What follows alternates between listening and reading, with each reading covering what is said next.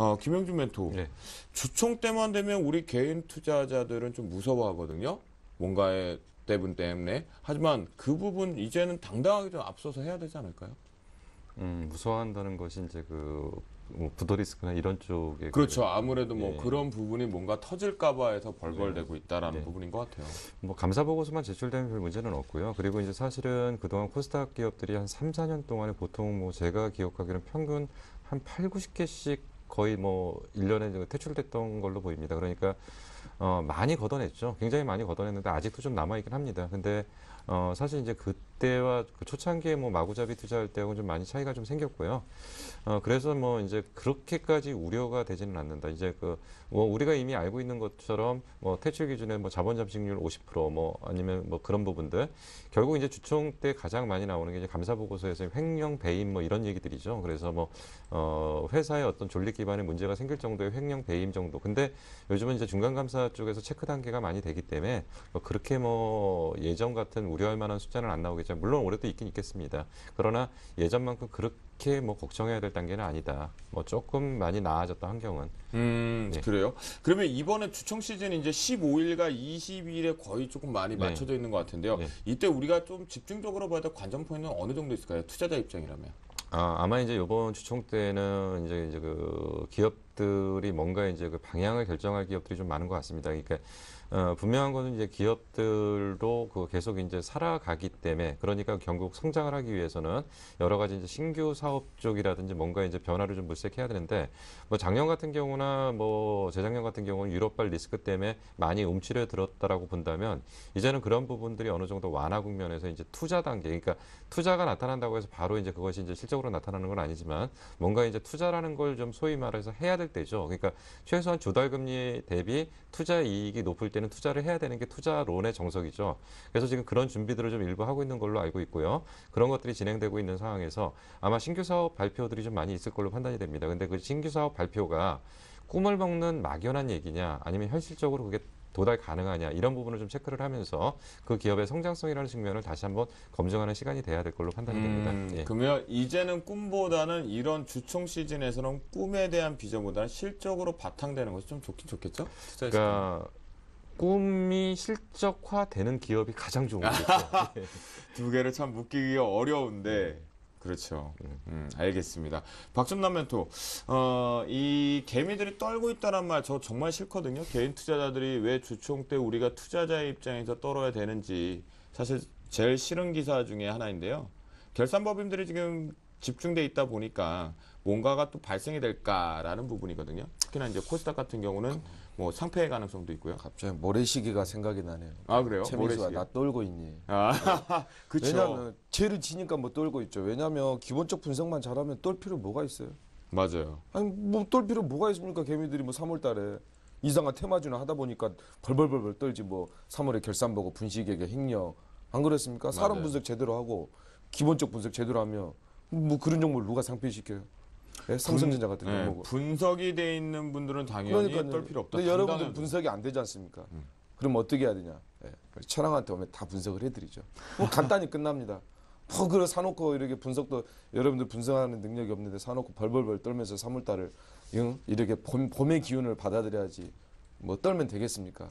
아 그렇군요. 예, 아주 좋은 일이죠. 많이 생길 것 같아요. 여러분들 들으셨죠? 내가 회사의 가치 구분이 기본적 분석에서 안정적인 종목이 필요하다면 당연히 떨 필요 없어요. 그리고 제가 앞에서도 말씀드렸습니다. 주주총회인데 왜 우리가 투자자 입장에서 주주임에도 불구하고 왜 떨고 계십니까? 그러실 필요 없겠죠. 다 이 부분에서 우리가 김용준 멘토가 해주신 부분을 다시 한번 리뷰를 해볼 필요가 있는데요. 결국 이제는 실적이 바탕되었는지 부분도 필요하겠지만 꿈이라는 부분에 대한 비전만 제시하는 것은 너무 꿈 뚱구름을 잡을 수 있는 구름만 잡게 될 수 있다라는 거죠. 달콤한 솜사탕이 될 수 있다라는 거예요. 이제 거기에 플러스 실적까지 좀 맞춰주면서 산업이 개화되는 종목들은 코스닥에서 조금 더 집중해 볼 필요가 있겠고요. 그다음에 주주총회 이번 건에서 대형주 쪽에서는 앞으로 신성장 비전을 정책적인 부분에 대해서 산업의 패러다임으로 체크해 볼 부분인 것 같습니다. 두 번째 이슈 한번 살펴보도록 해볼게요. OCI가 드디어 태양광 발전을 미국 발에서 첫 삽을 떴습니다. 근데 이 OCI를 통해서 태양광 쪽이 과연 이제 우리가 다시 볕들날을 볼 수 있고 대바닥에서 계속 횡보하고 있는 종목군들 매매 포인트로 짚어갈 만한 매력이 있는 것인지 또는 업종 쪽에서 우리가 그래도 속지 말아야 될 것이 무엇이 있는 것인지 저희 두 분의 멘토를 통해서 한번 살펴보도록 하겠습니다. 김영준 멘토. 네. 네. 어떻게 보시나요? 아, 그 앞부분에서 잠깐 OCI를 얘기를 했었는데 딴 프로에서요. 근데 이제 그 OCI가 참 희한하게 형성됐던 가격대가 있죠. 최고점 찍었을 65만 7천 원이 폴리실리콘 가격 65, 66불이었고요. 지금 바닥을 찍었을 때 최저가 16불 정도 찍었으니까 16만 원 정도가 저점이었고 어, 최근에 좀 반등을 하면서 이제 좀 조금 올라오는데 어, 최근에 이제 그 폴리실리콘 가격이 좀 반등을 한다. 근데 그 이렇게 보셔야 되는 게 폴리실리콘의 그러니까 반 그 지금까지는 우리가 생각할 때 태양광에서 소재 산업인 OCI만 그러니까 폴리실리콘만 어, 태양광에서 유일하게 살아남았고 나머지 업체들 모듈 업체나 어, 그 잉곳 웨이퍼 업체들은 다 죽었었거든요. 근데 이제 그러면 똑같이 태양광이 뜬다라고 하면은 폴리실리콘의 소재 산업색이 있을 거냐? 그건 아니란 얘기죠. 지금은 그 뭔가 라인업이 구축, 구축돼 있는 상태에서 결국 마지막 단계에서 지금 발전소 사업을 하는 쪽에서 발전소 사업이 뜨면서 폴리실리콘의 사용량이 늘어나지만 예전 같은 그런 화려한 시대는 없을 거라는 겁니다. 그래서 올라와도 제한적일 거고 폴리실리콘의 호황기는 더 이상 없다. 다만 어, 그 너무 바, 어, 폴리실리콘 가격이 바닥이기 때문에 좀 올라와서 어느 정도의 상승 국면은 가능하고 그리고 굳이 태양광을 바라보실 생각이 있다면은 발전소 설립 단계에 있는 발전소 장비를 납품할 수 있는 업체들 이런 쪽을 좀 찾아봐야 된다. 결국은 이 태양광 쪽에 대해서는 이제 발전소 부분에 대한 관련된 부분을 좀 봐야 된다라는 포인트를 좀 잡아주셨는데요. 어, 박준남 멘토, 태양광 어떻게 보세요? 뭐 저가 메리트는 있죠. 예, 가격 매력은 분명히 예, 있어요. 아직 태양광은 아직 아닙니다. 아직 음, 일러 아니다. 풍력도 일러요.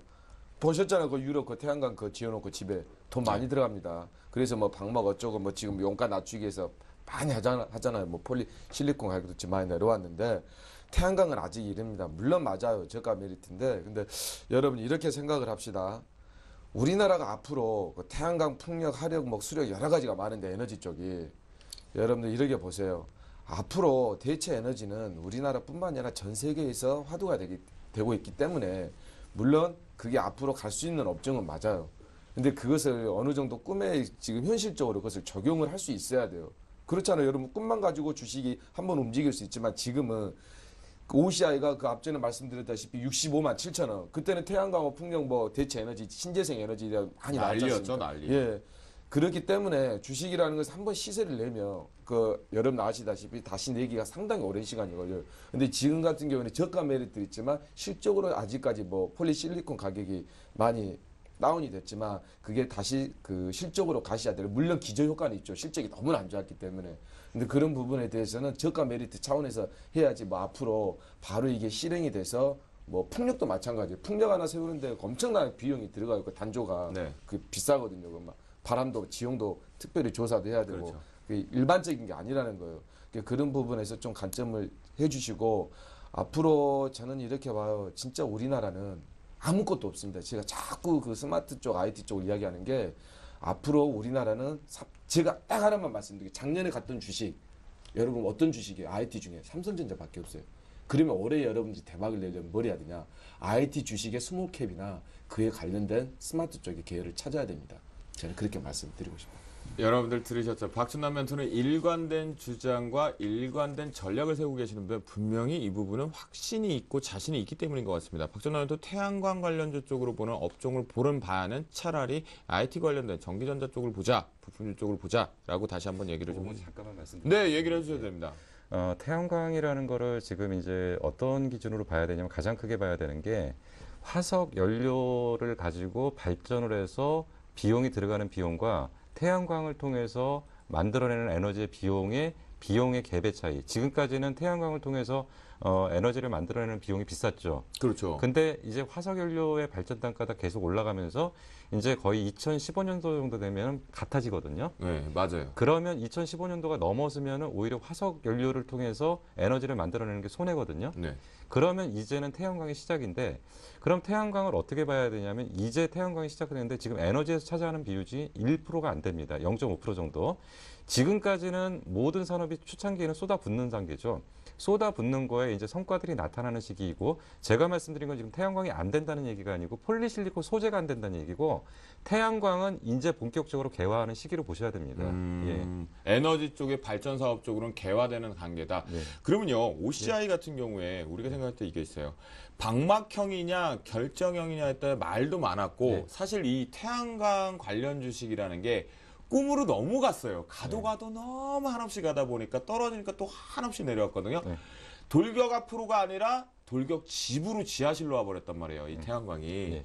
그러면 결정형 방막형을 일단 논하기 이전에 발전, 태양광 발전은 이제 향후 개화되는 단계다라고 보셨단 말이에요. 당연하죠. 그러면 그 태양광 대처 에너지 쪽으로 봤을 때 네. 어느 쪽으로 포인트를 잡아가는 게 좋을까요? 그 이제 말씀하신 게 이제 결정형과 방막형이 왜 문제가 되냐면 그 결정형과 방막형의 폴리실리콘 사용량이 달라지는 겁니다. 근데 그 결정형으로 가게 되면 OCI가 대박이 나겠죠. 근데 결정형이 아니라 어, 방막형으로 가는데 왜 그러냐면 초창기에는 비싼 비용을 부담하면서도 결정형으로 간 게 수율이 안 나왔다는 거죠.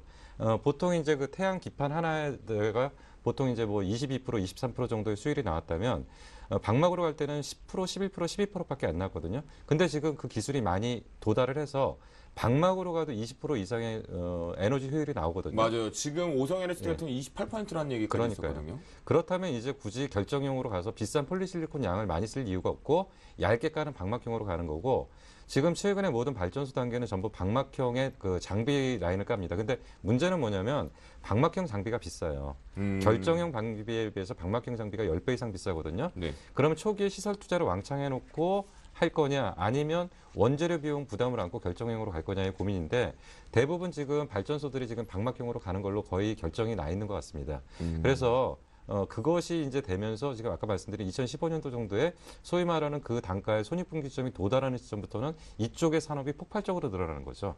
그래서 이쪽에 대한 모든 인프라 구축이 돼 있는 상태에서의 어, 경쟁력들이 지금 앞서나는 거고요. 그동안 그 태양광 관련 업체들 다 죽었거든요. 네. 이제는 예전에 아이 뭐 전자업체들도 초창기에 그 경쟁이 치열했을 때 죽는 것처럼 다 죽고 나서 경쟁력 있는 업체들만 지금 살아 있는 거거든요. 그렇다면 이제는 성장만 남은 겁니다. 음. 네, 알겠습니다. 박준남에도 태양광보다 전기전자가 강, 강하긴 빠르게 갈 것 같긴 한데요. 그 전기전자가 올해 계속해서 주도하면서 계속 갈까요? 우리나라에 뭐 할 게 뭐가 있습니까? 아, 우리나라에 기름이 납니까? 우리나라 자원이 있습니까? 우리나라 땅이 넓어요. 맞아요. 우리나라가 뭐 사람이 많으니까 내수가 됩니까? 음. 네. 그러면 일괄되게 전기전자 쪽만 네, 보자. 다 아니 작년에 보자고요. 네. 작년에 10배 이상 가- 갔던 종목들은 다 IT 쪽에서 나왔어요. 태양광 건설 물론 좋아요. 앞으로 태양광 뭐 기저 효과니까 폴리실리콘 가격 뭐 결정형 뭐 박막이 어떻게 해서 그런 부분들은 그런 부 태양광을 어떻게 보면 아시아 쪽보다는 유럽 쪽에서 먼저 진출을 했어요. 그러니까 저는 그런 부분에서 뭐 OCI가 뭐 기업 분석을 해서 좋은 분도 있지만 뭐 인프라도 깔려 있지만 그거보다 더 좋은 게 있다면 나는 그 업종을 좀 우리가 쫓쫓뭐 추구하면 더 좋지 않을까. 그리고 올해도 대한민국은 앞으로도 2030년 정도 되면 세계 경제학자들이 뭐라고 했냐면 세계 3대 강국 안에 든다고 그랬어요. 그게 뭐라고 했냐면 IT라고 그랬습니다. IT 때문에. 우리나라는 할 게 더 이상 없어요. IT, 말- IT 말고. 네, 예, 알겠습니다. 그건 인정을 해야 음, 됩니다. 우리가. 두 분의 분명하게 업종을 보는 시각은 좀 다른 것 같아요. 개화되는 부분에서 저는 태양광 쪽의 가격 매력도 부분과 함께 개화되는 시점을 한번 볼 필요가 있는 부분인 것 같겠고요. IT는 계속 달리는 아, 가장 대표적인 역할을 하고 있으니까 그 부분도 빼놓지는 말아야 될 것 같아요. 가장 좋은 건 그네요. 태양광 종목 하나, IT 종목 하나, 포트에다 기둥불이 딱 박으면 아, 계좌는 늘어나겠네요. 태양광도 IT가 흡수합니다. 네, 예, 알겠습니다. 그게 정답이에요. 알겠습니다.